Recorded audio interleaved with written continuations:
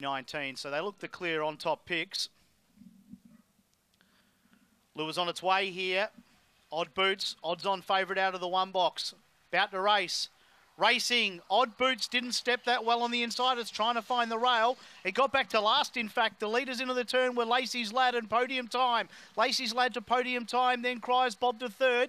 Then around the others there would have been Spotted Gun, followed by Redder. Getting a long way back was Goldie's Run with Spinach. And last of all was Odd Boots. The favourites about seven off the leader. Up towards the turn now. Cryers Bob railed through. Took the lead from Podium Time. It's Cryers Bob from Podium Time and Redder late. But in front, Cryers Bob. Cryers Bob hangs on. Beat Podium Time. I think Redder for third, narrowly in front of Goldie's Run, but don't hold me to it.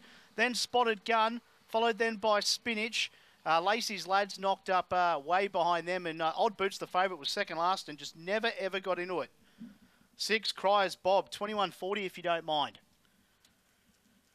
Cryers Bob, the six, in a time of 30.77, causing another upset here. Some good value if you're picking some winners at Mount Gambier.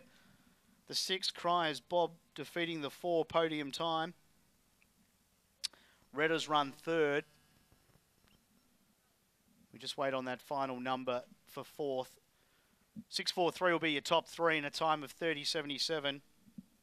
643 and Goldie's run, the nines run fourth. 6439